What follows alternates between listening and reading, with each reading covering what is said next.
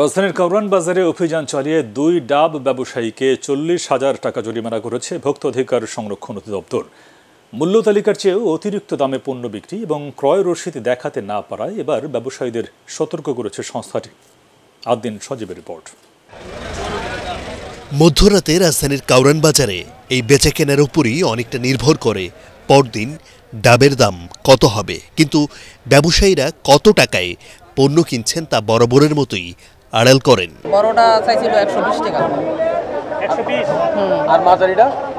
মাথারিটার দাম করি নাই স্যার আপনি আপনি যেটা কিনছেন? এইটা। এইটা পঁচানব্বই টাকা কিনছি। আর ছোটটা? হ্যাঁ। ছোটোটার দাম করি নাই তো আমি এইটাই আচ্ছা, কিনছি। মাঝারিটা পঁচানব্বই আর বড়টা চাইছে একশো বিশ। একশো বিশ আচ্ছা ওরা লেখা রাখছে কত?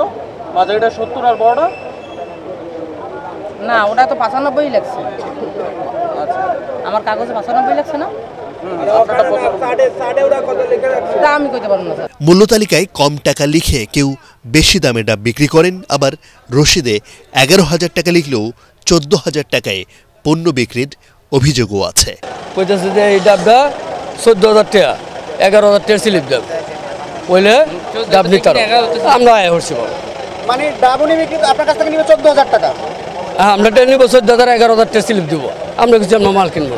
এসব অনিয়ম সহ পণ্য কেনার রসিদ দেখাতে না পারায় মঙ্গলবার রাতে দুই ব্যবসায়ীকে জরিমানা করেছে ভোক্তা অধিকার সংরক্ষণ অধিদপ্তর। তারা এখনও ক্যাশ মেমো যথাযথভাবে সরবরাহ করছে না এবং অনেক বেশি দামে এই আড়তদাররা ডাব বিক্রি করছে। এই তথ্যের ভিত্তিতেই মূলত আমরা আজকে আবারও এইখানে এসে যেটি আমরা দেখলাম যে আসলে কার্বন কপি এখনও দেওয়া হচ্ছে না। একই সাথে যেখান থেকে এই ডাবগুলো আসছে, সেখান থেকে যে ক্রয়ের ক্যাশ মেমো সংরক্ষণ করার কথা বলা হয়েছিল সেটি তারা সংরক্ষণ করছে না। এবং একই সাথে একটি প্রতিষ্ঠানে আমরা দেখলাম যে মূল্য তালিকা দিয়েছে ঠিকই, কিন্তু মূল্য তালিকায় যেটি প্রদর্শন রয়েছে, তার চেয়েও প্রতি ডাবে তিন টাকা করে বেশি দামে বিক্রি করার যে অসৎ প্রবণতা, সেগুলো আমরা খেয়াল করেছি। এই অপরাধে তিন, দুইটি প্রতিষ্ঠানকে সতর্কতামূলকভাবে বিশ হাজার টাকা করে জরিমানা আরোপ করা হয়েছে এবং তারা কমিট করেছেন আমাদের যে আগামীকাল থেকে তারা যথাযথভাবে মূল্য তালিকা প্রদর্শন করবেন। ক্রয়ের মেমো সংরক্ষণ করবেন এবং বিক্রয়ের ক্ষেত্রে পাকা রসিদ যেভাবে দেওয়া হয় কার্বন কপি সহ, সেটি ওনারা সরবরাহ করবেন মর্মে কমিট করেছেন। তো জনস্বার্থে আমাদের অভিযান অব্যাহত থাকবে। এবারের মতো ডাব ব্যবসায়ীদের সতর্ক করে আগামীতে আরও কঠোর ব্যবস্থা নেয়ার কথা জানিয়েছে সংস্থাটি।